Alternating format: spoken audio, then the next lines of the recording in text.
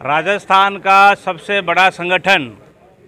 लघु और मध्यम दर्जे के निजी शिक्षण संस्थान का राजस्थान का सबसे बड़ा संगठन स्कूल शिक्षा परिवार के तत्वावधान में आज हम लोग, हमारे नवलगढ़ के लोकप्रिय विधायक और सीएम साहब के सलाहकार डॉक्टर राजकुमार जी शर्मा को एक ज्ञापन दिया,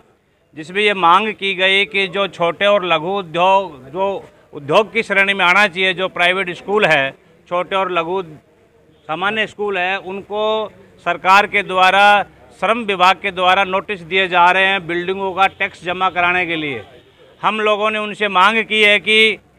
हर स्कूल संचालक सरकार का एक पवित्र काम शिक्षा का करने जा रहे हैं और जो बिल्डिंगें हमने बनाई है, वो एक दिन में नहीं बनाई है, किसी ने 20 साल में बनाई, किसी ने 30 साल में बनाई है। कर्जा ले लेकर बनाई है, सारे स्कूल संचालकों के यहाँ फाइनेंस में काम हो रहा है। और उन पर सरकार हमसे टैक्स मांग रही है बिल्डिंगों का तो हम बिल्डिंगों का टैक्स कहाँ से चुकाए? तो हम माननीय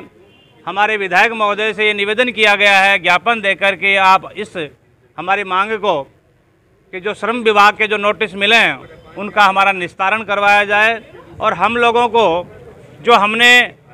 बिल्डिंग पूरे जीवन काल में बनाई है, किसी ने 20 साल में, किसी ने 30 साल में, वो बिल्डिंग एक दिन में पैसा खर्च नहीं हुआ है हमने कभी एक कमरा बनाया, कभी दो कमरे बनाए, कभी तीन कमरे बनाए, ऐसे करके वो बिल्डिंगें तैयार हुई है। उनका जो श्रम विभाग ने नोटिस की, जारी किए हैं, उनको रद्द करवाया जाए, ये हमने डॉक्टर राजकुमार जी शर्मा से निवेदन किया है। देखिए, दाइमा जी ने जैसे बताया, स्कूल शिक्षा परिवार के द्वारा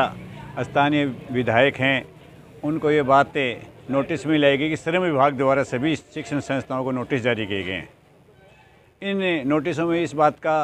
उल्लेख किया गया कि आपने जो भी भवन बनाया, उसका सरकार एक दो परसेंट टैक्स लेगी। अब ये बहुत सारे स्कूल संचालक हैं, उन्होंने कड़ी मेहनत से, कड़े खून पसीने से, बहुत लंबे समय से स्कूल स्थापित हैं और एक एक दो दो चार चार करके जो मकान बनाए, जो बिल्डिंग बनाए, उस पर इस समय कर किस बात का? तो हमें माननीय विधायक महोदय से ये निवेदन करेंगे कि हमारी बात संबंधित विभाग और संबंधित मंत्री तक पहुँचे और स्कूलों को राहत